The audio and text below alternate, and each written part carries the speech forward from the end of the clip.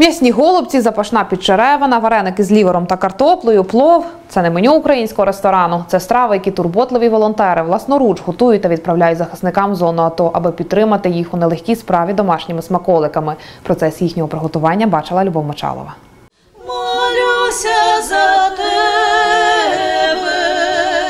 як за матір. Ось так із піснею у дружній компанії справа кипить. Прихожани греко-католицької церкви, що носить дві назви святого Антонія та Різдва Пресвятої Богородиці, та волонтери готують чергову передачу для військових на сході. Нараз ми робимо десь е, в межах 10-12 відер вареників.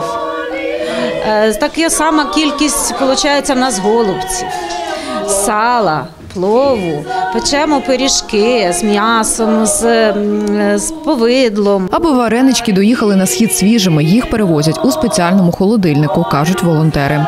Не зберігається 48 годин. Да, при температурі мінус 7 градусів. Марія Іванівна на голубцях працює від ранку. Завдання накрутити дві каструлі по 60 кілограмів кожна. Продуктів накуплено відповідно. Капусти, ну, считайте, два мішка. Там мішку по 20-15 кг, залежно як.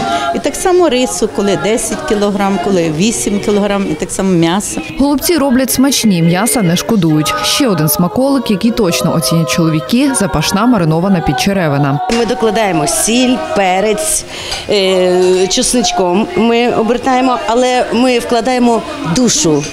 Це саме головне. Готування у дружній жіночій компанії іде швидко, та без чоловічої сили на кухні теж не обійтись. роблю мужську роботу, щоб винести, піднести, прокрутити і так далі. Збирати кошти на продукти допомагають прихожани церкви та підприємці Калинівського. Кошти ми збираємо постійно на Калинівську ринку, відправляємо постійно напрямок Донецький, це Піски, Мар'їнка, Славне, Водяне.